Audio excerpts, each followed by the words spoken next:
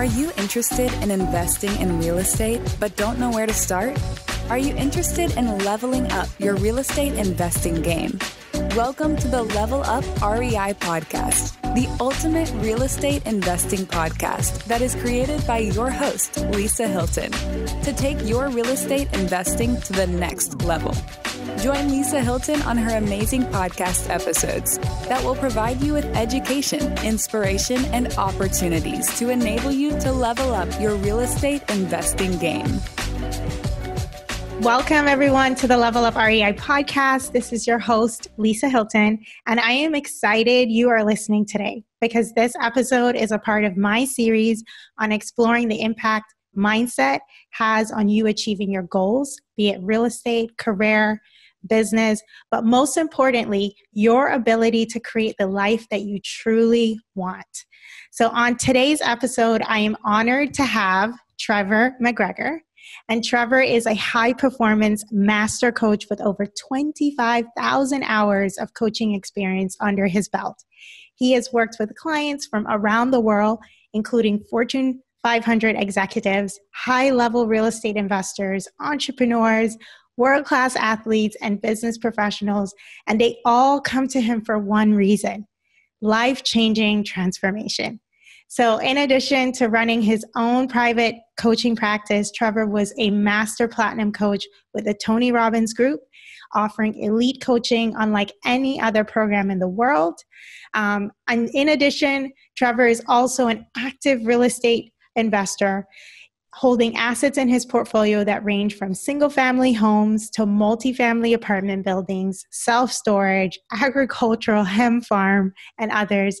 So, definitely his mission, mission is to assist others in realizing their true power and hidden potential to achieve more success, wealth, freedom, and contribution than they ever thought possible.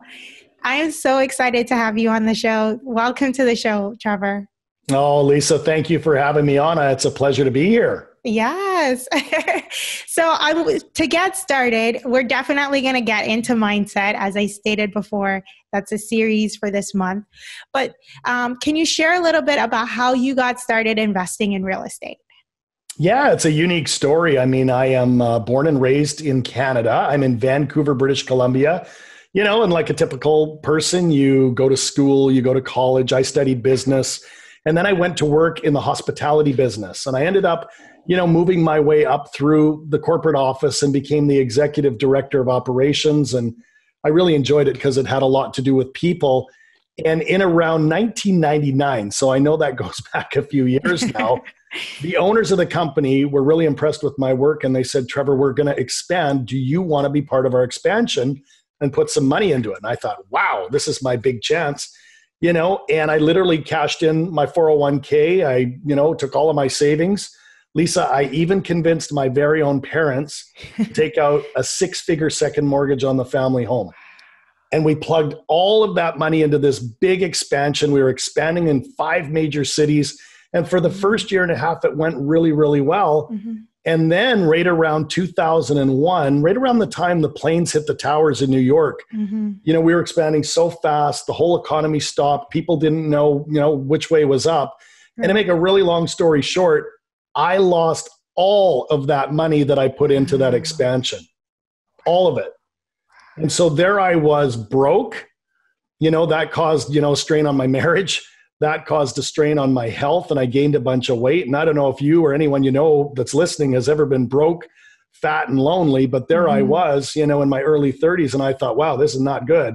Mm-hmm. And so, what do you do when you're down and out? Well, thank God for me, I found a coach and a mentor. And he said to me, Trevor, what's happened to you is unfortunate, but you got to get up. You got to dust yourself off and you got to yeah. keep on moving. And I said, I know, but how? And he said one thing to me, Lisa, that changed my life forever. Mm-hmm. He said, Have you ever thought about investing in real estate? Hmm. And I said, Real estate? I don't know anything about real estate, and I sure don't have any money. And he said, Well, Trevor, you can use other people's money, mm-hmm. buy a place, fix it up, and either rent it out, you know, and refi it or sell it and just keep that going. And so, again, to make a long story short, I knew that he was a really smart guy and I knew that he was probably, you know, my my one guy that believed in me and he had this recipe roadmap or blueprint you know for real estate. So i followed him and i bought one little townhouse mm-hmm. and that was a great experience. So i refied that and bought a condo and that was a good experience and vancouver was going through a big appreciation. And then lisa i bought my first duplex and that's when i discovered what cash flow really was and I refied that and bought another duplex and another one. And then I bought a fourplex and then I kept buying a bunch of those. And literally in just two and a half years, not only did I pay off all of my failed loans, but I had a beautiful cash flowing portfolio on the top of it. And wow. that's when people started to come to me saying, Oh my God, Trevor, how did you do it? And it was my son's baseball coach, my other son's soccer coach, somebody at the swimming pool. And they just kept asking me for advice. And as I started to share my, my methodology, yeah. right, that I got from my coach, I found myself soon coaching other people. And I think that's when the coaching bug bit. And I mm. decided to leave the corporate world and I became a full time real estate coach and a business coach. And now I run my own company, Trevor McGregor International, on that. Wow, that's just an amazing story. um, you know, so I said I feel like backtracking a little bit, right, through all of this. Uh, I feel that mindset had a big role to play in terms of like believing in yourself to do all these different things and then taking that leap from in the corporate job that you were in to then ultimately going on your own and opening up your own successful now successful coaching practice can you talk a little bit about the mindset behind all of that uh, that experience for you. Absolutely lisa because again it, i make it sound easy but it wasn't that easy because the mind is a finicky thing. And i thought well gosh first of all i have no money right? Nobody's going to want to lend me money to buy the first thing. So i had to get past that. Right. then i thought wow i'm already in my mid 30s i'm getting too old. Maybe i should just stay safe in corporate right then i had to start thinking about you know what if i lose the money? What if it doesn't go well? What if my coach you know is maybe thinking of a, a different time where it was easier to get into real estate? And so mm-hmm. i think when it comes to mindset we're always either focused on what we don't want or you've got to pivot and start focusing on what you do want. And thank god because i was meeting with my coach regularly and i started to really read the books. I started to mm-hmm. listen to you know cds and audios i started to go to personal development events I soon learned that if I focused on what I didn't want, I was going to attract that. Mm-hmm. And if I started to focus on what I did want, I would move towards that. And so I think for you and your listeners, you really got to start with the very first question, which is Are you focused on what you don't want or are you focusing on what you do want? Does that make sense? Yes, 100%. Um, and then I guess then connecting that to, you know, 2020 has been a crazy year for a lot of people um, and you know being able to focus on what you do want versus what you don't want in the face of so much uncertainty and yes. life coming at you in ways that you just did not expect um, as a coach to clients like what are some of the things that you've sort of strategies that maybe you've shared with clients to help them during this this period especially starting a new year 2021 what a great question. And again, yeah, this is my life's work. And obviously, working with Tony Robbins for as long as I did. I mean, once I started to build my real estate empire, I started to coach people. You know, I was working with my own Tony Robbins coach at the time, and he said, Trevor, you know, you're so passionate about business, you're so passionate about people, you're so passionate about real estate. Why don't you come in and support the Tony Robbins mission? And that's exactly what I did. And so, mm. really, as I started to learn more about focus, right? I started to also learn more about identity. So let's come back to COVID in 2020 because people will either see themselves as a victim to COVID and all of this craziness mm-hmm. and literally stay in their lower vibration and their lower self, or they will transition to, you know, that this too shall pass, mm-hmm. right? And that of all all chaos comes order. Out of all chaos comes order. And we know that tough times don't last, but tough people do. So, to the listener who's out there who's having a tough time, maybe they've lost their job, maybe they've been furloughed, maybe they've had to take a pay cut, maybe they're dealing with homeschooling their children or right. aging parents.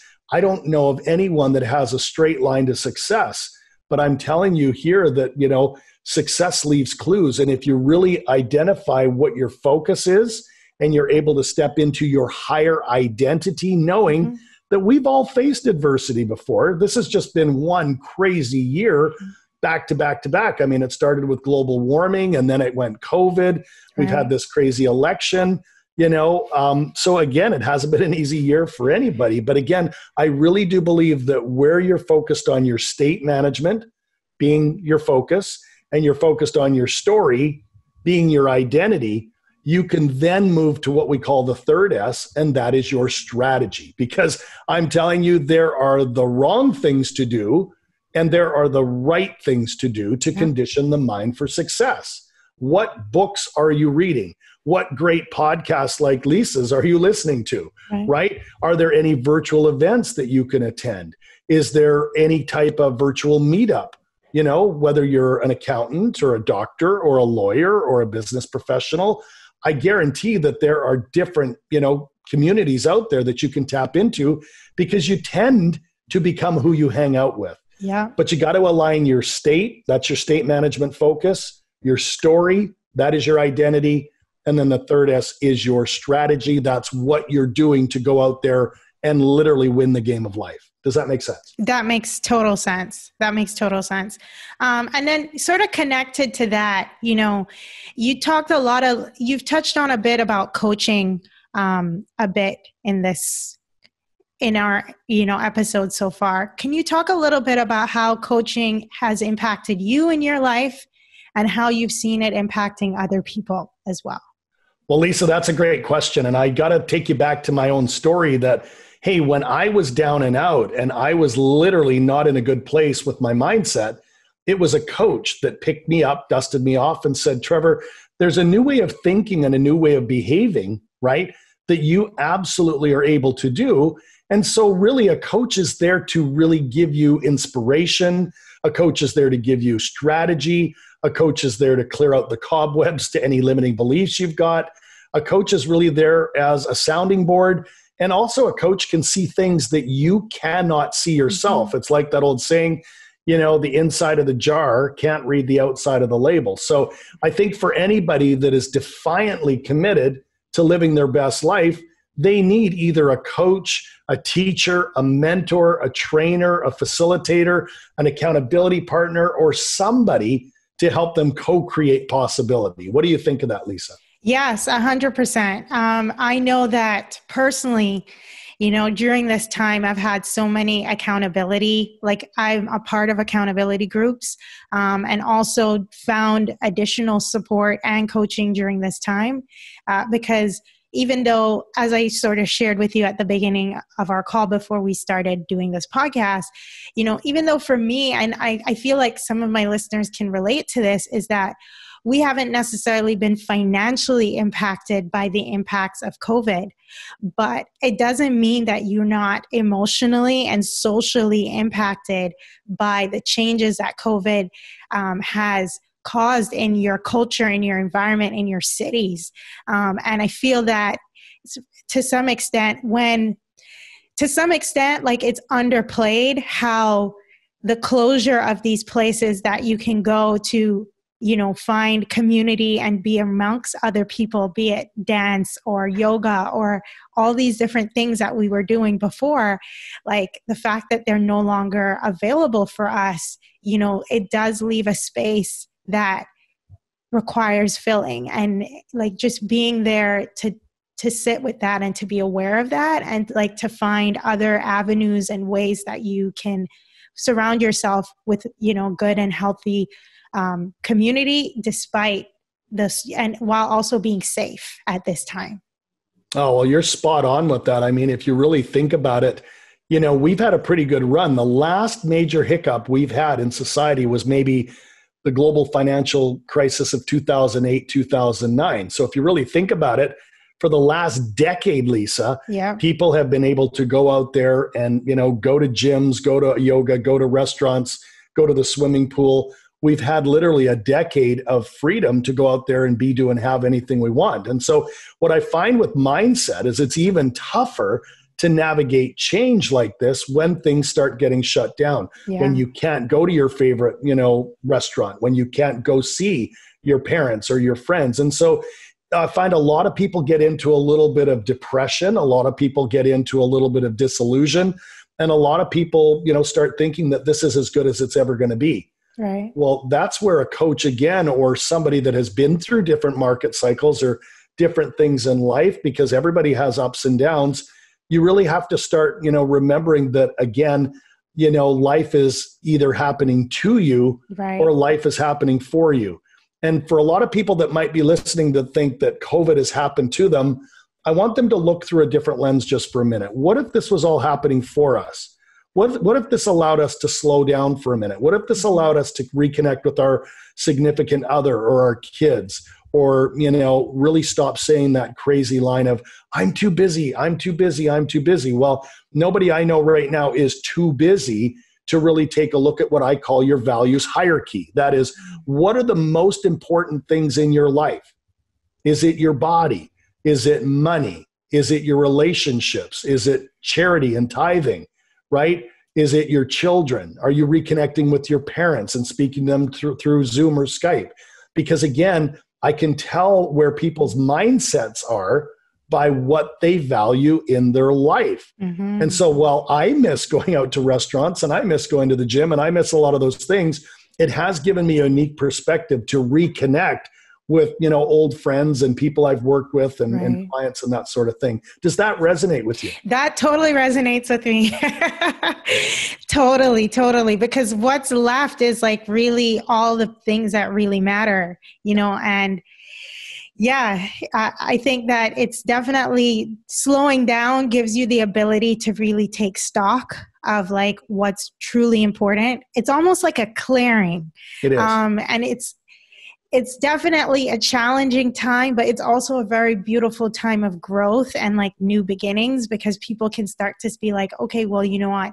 If you're into intentionality, you can yeah. come from a place of intention about what it is that you want to create um, as you start your 2021. it really is. And I'll stack on what you said because you're spot on. You know, for some people, they feel like this is the end right? But for other people, they think that this is the beginning, a beginning of a new chapter that we get yeah. to go out there and write.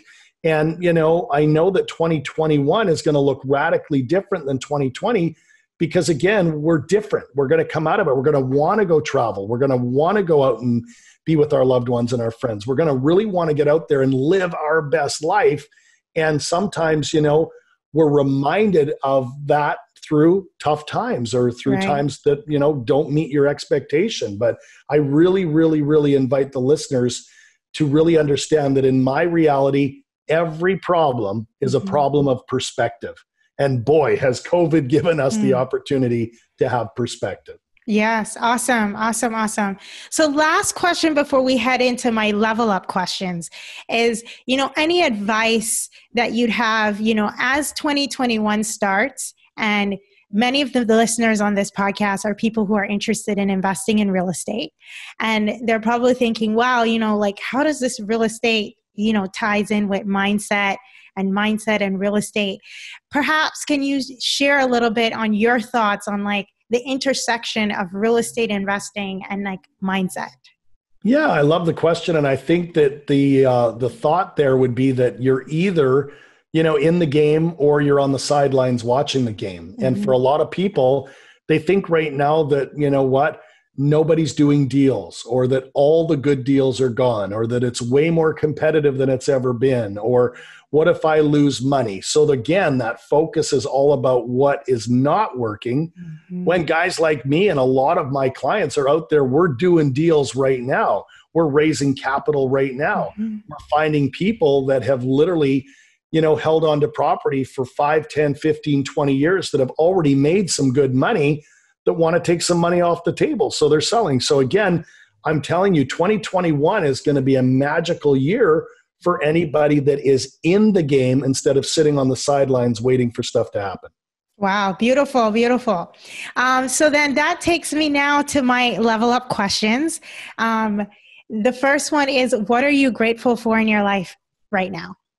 Oh my gosh. Well, I'm grateful for my health. I'm grateful for my wife. Her name is Lisa. She's amazing. I'm grateful for my three beautiful boys, Matthew, Mitchell, and Maxwell. I'm grateful for my family. I'm grateful for my tenants. I'm grateful for my clients. I really do live with what I call an attitude of gratitude because what's wrong is always available, but so mm-hmm. is what's right. So let's focus on what's right and let's invite more gratitude into our lives. Nice, nice.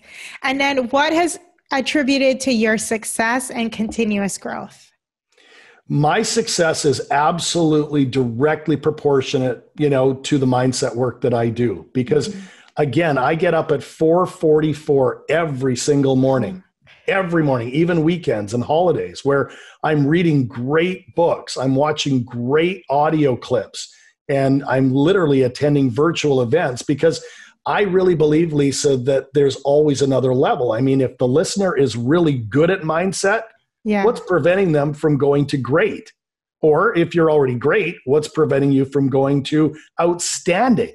Right. Or maybe you're already really good with mindset and you're outstanding, but what if I told you there's another level that I call extraordinary or mm-hmm. extraordinary? And I'm telling you, mindset work never stops.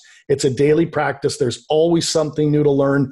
And even after doing 25,000 coaching calls, mm. that's an actual statistic with people all over this planet, I'm learning and growing every day. Wow, that's amazing. That's like a true testament that, you know, there's no finish line here. It's a journey. Yeah. And to embrace that journey and to continue to keep growing and being the best you can be. Um, and then lastly, what do you now know that you wish you knew at the beginning of your journey?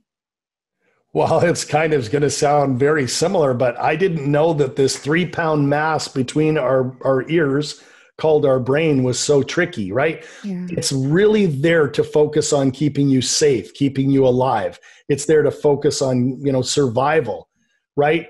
But when you tap into doing mindset work, you also realize that this beautiful three pound mass between your ears is here to help you be creative. Mm-hmm. It's here to help you problem solve. It's here to help stretch you and get you to think bigger. I mean, I believe that the number one law of the universe mm-hmm. is expansion, right? And I just want to use my brain to keep creating things and expand my health, my wealth, my travel, my experiences, and all of those things because I truly believe in, you know, working towards what I call the five freedoms. And the mm-hmm. five freedoms is where I use my brain to keep growing and keep contributing, right? But really work towards number one, financial freedom. Mm-hmm. I mean, for anybody that's defiantly committed to it, you can achieve financial freedom. Number two is time freedom, right? Yeah. Once you achieve financial freedom, you actually are able to do more with your time. Yeah. Number three is what I call geographical freedom. Yes, now we can get on airplanes and literally go see other parts of this beautiful blue planet. Right. Right. Number four is what I call freedom to go impact humanity. That is, once you've got your financial freedom, your time freedom, and you can travel anywhere, now you get to work on your impact projects or literally find a way to give back. Right. And then number five is my favorite. It's called freedom of relationships. That is mm. not from relationships, but of relationships where we get to go hang out with really cool people that we like to hang out with that elevate our emotions and take right. us to the next level. So, financial freedom, time freedom, geographical freedom, impact freedom, and relationship freedom can be yours if you do mindset work. Awesome, awesome, awesome, awesome. So good. Thank you so much for coming on. Like, if my listeners want to learn more about you and to learn more about your work, where can they go to find more? Yeah, it's really simple. Just head over to my website. That is trevormcgregor.com, T R E V O R M C G R E G O R, trevormcgregor.com. You can find out a little bit more about who I am and what I do and there's a uh, contact uh, opportunity there as well. But I truly appreciate coming on your show. Awesome. Thank you so much, Trevor. You bet. Have a great day. You too. All right. So end podcast. So that's it. Awesome. Thank you so much. I really, really, really, really appreciate it. This is so yeah. good. Thank you. Yeah, your listeners will get a few golden nuggets out of that, and I appreciate you uh, working through the technical challenge. And yes. um, you know, again, have a happy Thanksgiving. Yes, thank you so much. Okay, Lisa. All right, take, take care. care. All the us. Bye. Thank you. Bye bye. Thank you again, Trevor, for coming on the show. I really, really appreciate it. Guys, what an amazing episode. Two really golden nuggets that I took from this episode, and there were so many. Um, but the first one was the three S's that he talked about state management. Um, secondly, your story, your identity, like what you think about yourself. And then number three is your strategy. So, what are you like the books, the podcast, the people that you're spending time around, all that stuff helps you in terms of, you know, priming and keeping your mindset in a place where you can continue to be creative and um, go after and see the opportunities that are in your life. And then the last was his five freedoms. Um, number one was the financial freedom. And then number two was time freedom. Number three, geographical freedom. Like, oh my goodness, I love all these freedoms. um, four was freedom to impact humanity. Like, contribution is such a huge part of being a human um, and being able to add value to the lives of other people is just it's a feeling that is yeah like it's just an amazing feeling um, and then lastly is the freedom of relationships, you know, being able to spend time with the people that you love. Um, and, you know, be it when they're sick or when they're healthy like being able to just be a you know cultivate and nurture relationships that matter to you and that are important to you um, i really really hope that you enjoyed this episode you know as i said before um, the this entire series for this month of January is going to be on mindset and the impact it has on you, like living the best life that you need to live and that you want to live. Um, and for 20 and 21, this is my gift to you, which is birth out of my own personal pain of, you know, 2020, as I said on this podcast, while 2020 has not been a financial distressing year for me. It has definitely been a year that has been that has impacted me emotionally and socially um, in terms of all the different you know social activities i was a part of that no longer you know operates the way it does because of covid. Um, but you know finding new avenues and being able to take the lessons that I learned during those painful times um, to then come and to to be able to share and bring to you amazing people who hopefully can come into your life and come into your mindset and to come into the way in which you're doing things and to be able to you know positively impact your 2021 so Thank you guys. As always, you can definitely, you know, if you want to learn more content from me, you can go to my website, which is lisahylton.com. Um, there's tons more podcasts. There's also lots of blog posts on there, um, all about um, passively investing in real estate. Um, and if you want to check out my passive real estate, passively passive investing made easy um, email series, seven day email series. You know, if you're interested in passively investing in real estate and you're just curious about how the process all works, then yeah, head to my website, drop in your email, um, and it will come out. You'll get seven days of amazing content um, that gives you a high level overview of what it's like to be a passive investor, what the process is all about, why I like investing in apartments, um, and why I like investing in real estate in general. So, definitely hope that that adds a lot of value to you. And until next time, keep leveling up. Bye. That has been another episode of the Level Up REI podcast. I hope this episode has provided you with knowledge, insights, inspiration, and opportunities to level up your real estate investing and other areas of your life. We'd love to hear from you. So if you have any thoughts, comments, or suggestions for topics to cover, feel free to visit our website, www.lisahylton.com. And while you are there, check out our blogs and newsletters. Remember, your level of success will rarely exceed your level of personal development because success is something you attract by the person you become.